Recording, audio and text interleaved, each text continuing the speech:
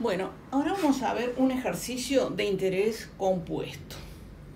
El interés compuesto es el que produce un dinero que uno coloca en un banco y el interés compuesto tiene capitalizaciones. Si te dicen que son capitalizaciones semestrales, cada seis meses el capital sufre una variación, o sea, aumenta esa, mm, este, de acuerdo a esa tasa de interés y ya arranca en los siguientes seis meses a, a, ganar intereses sobre, ese, sobre el monto que se generó, o sea, lo que yo había colocado más el interés generado por esos seis meses. Y ahí el capital ya no era el inicial, sino el que el que colocó más los intereses ganados en esos seis meses. Y cada seis meses se produce lo que se llama una capitalización, es decir, el capital se aumenta eh, de acuerdo a la tasa una cierta cantidad y después arranca de nuevo el nuevo periodo con otro eh, este, con otro monto, ¿verdad? Otro monto este, aumentado por los intereses. Entonces, la fórmula es así. Monto es igual C por 1 más I a la N. Acá hay dos cosas que son importantes. Bueno, M es el monto. C es el capital. Y es la tasa sobre 100.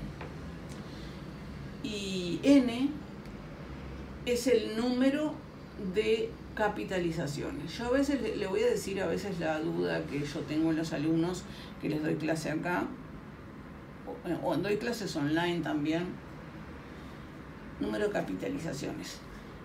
Doy clases eh, online y clases presenciales acá en Montevideo, en el barrio Cordón. Bueno, entonces este, nosotros vamos a ver cómo es eso. Eh, número de capitalizaciones. Importante a tener en cuenta las capitalizaciones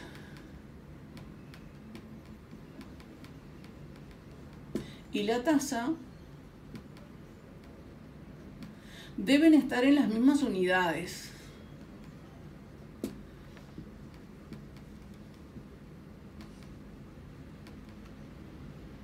¿Qué quiere decir eso? Bueno, que si, que si la tasa es semestral, si la capitalización es semestral, la tasa la debo transformar en semestral. Si las capitalizaciones son trimestrales, la tasa la llevo a trimestral. Si las capitalizaciones son anuales, las debo llevar a anual. Entonces, yo voy a colocar, voy a hacer acá un ejercicio Disculpen que necesito una calculadora que... Ah, ahí está. Perdón, ¿eh? Interrupción. Una calculadora que haga exponenciales. Bueno, entonces nosotros vamos a ver, a poner la letra acá. Dice, un capital... Vamos a ver, vamos a inventarlo acá sobre... Un capital de pesos 90 mil colocado a interés compuesto, ¿verdad? A una tasa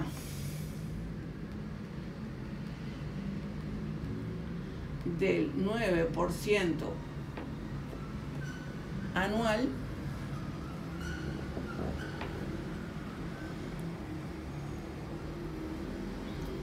con capitalizaciones cuatrimestrales, vamos a ponerle, ¿no? Yo veo que algunos alumnos míos este, a veces confunden que la, eh, que la N y tiene algo que ver con esto. Mm, yo ahora les voy a decir cuando hagamos el cálculo, mezclan lo, lo de acá con la, la N, van por, van por carriles separados durante un año y medio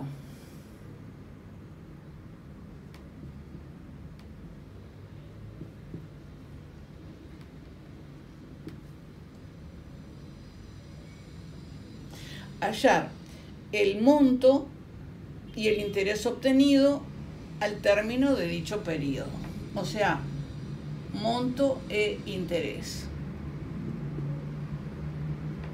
Bueno, entonces vamos vayamos a esta fórmula.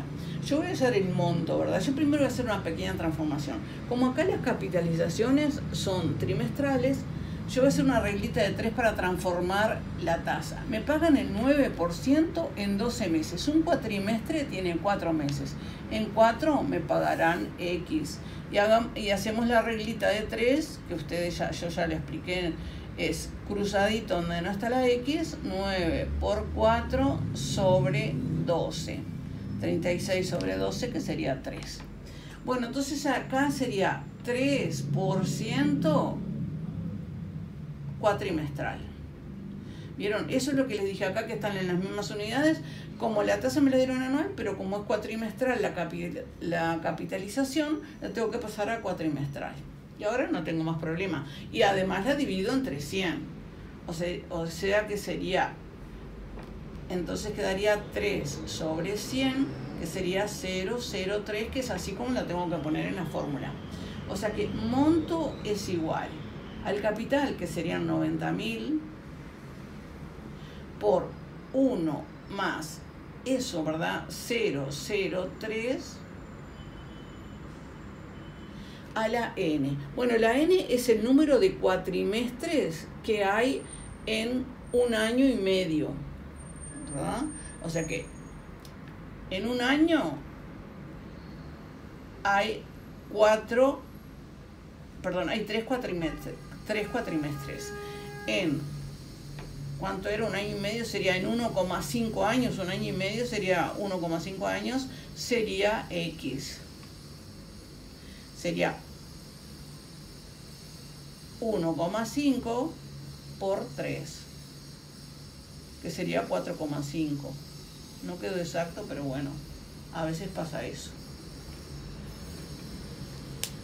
O sea, hay cuatro cuatrimestres y medio, claro.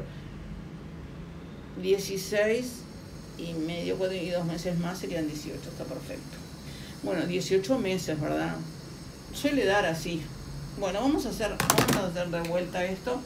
90.103 4,5. Nosotros lo que tenemos que hacer para hacer estas cuentitas, vieron que acá hay una calculadora de estas, y le ponemos así voy a hacer 1.03, este techito que hay acá, x a la i 4.5 por 90.000 es igual y sería 102.804 y tiene dos ceros, o sea que 102.804.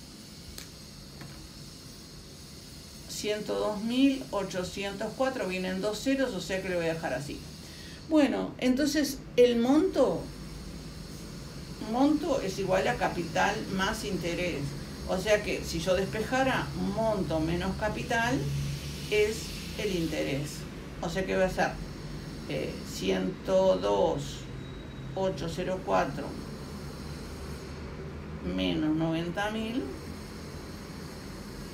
es el interés, ¿verdad? Que sería 12.804, ¿no? 102, 2.800, 12.804.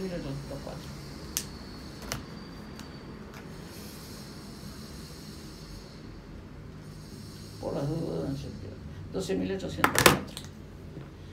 12.804 sería el interés.